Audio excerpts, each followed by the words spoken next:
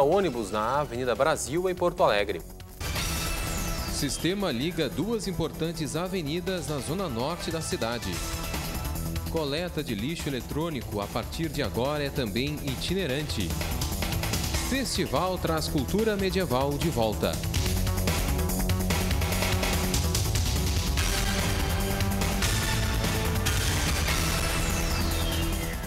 Boa tarde.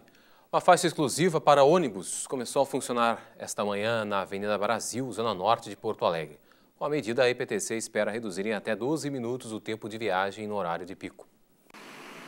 No primeiro dia de implantação da faixa exclusiva, agentes de fiscalização orientavam os usuários sobre as alterações.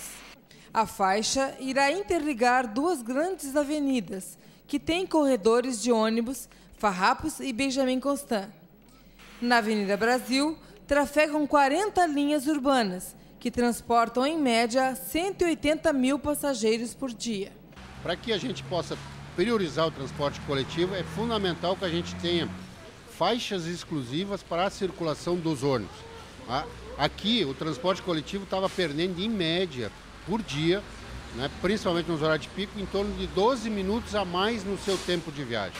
A faixa exclusiva fica do lado esquerdo da via, a partir da Avenida Pernambuco, e funciona 24 horas. Dez linhas continuarão fora, que são as linhas da Restinga, 314, T2, T2A, a 613 Elizabeth, uh, também a TR-60, TR-61, que farão o atendimento daquelas pessoas aqui desse trecho para que se deslocar para o eixo desses Brasil. Os carros não mais poderão parar ou estacionar no trecho, só sendo permitido o acesso às garagens dos prédios e comércio. Quem insistir em circular no espaço exclusivo de ônibus vai ser multado.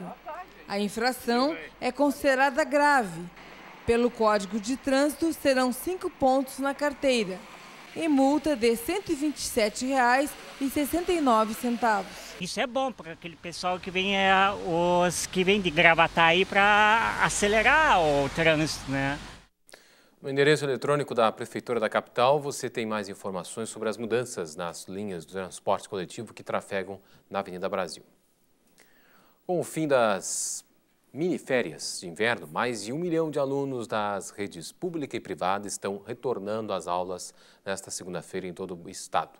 As 2.600 escolas públicas estaduais voltaram a funcionar hoje. De acordo com o calendário, escolas de 2014 e segundo semestre do ano letivo deve terminar no dia 19 de dezembro. No entanto, caso seja necessário, as escolas poderão recorrer a um período extra de aulas para cumprir o que está definido em lei. Começou neste final de semana a coleta itinerante de resíduos eletroeletrônicos. O projeto é uma parceria do DMLU, de Lojas e a empresa Otzer. O lixo eletrônico é atualmente tóxico e necessita de uma destinação correta. A coleta itinerante amplia os pontos de descarte pela população do lixo eletrônico. Esse material, quando colocado no lixo comum, pode causar sérios danos ao meio ambiente. Esse projeto iniciou a coleta em Porto Alegre em 2011, quando surgiu a preocupação da grande geração deste resíduo pela população, né, que é o resíduo tecnológico, que a gente chama principalmente. São os resíduos de informática, né, onde são muito descartados atualmente. E este resíduo, por conter materiais perigosos, resíduos perigosos, não podem ser descartados na coleta domiciliar nem na coleta seletiva. Então, nós implantamos em 2011 os pontos fixos, né, onde a, a, população pode acessar através do site do DMLU, o site da prefeitura. Estão lá os endereços, telefones para contato e agora estamos iniciando a coleta itinerante em todas as regiões da cidade.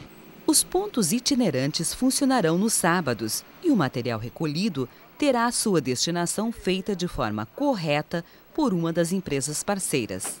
Toda a estrutura né, logística e a, depois a destinação desse material de uma destinação certificada e ecologicamente correta é feita entre essa parceria da Otzer e o DMLU. A Otzer é uma empresa especializada na destinação desses resíduos, é a única empresa que tem a certificação ISO 9000 nesse ramo dentro do estado do Rio Grande do Sul.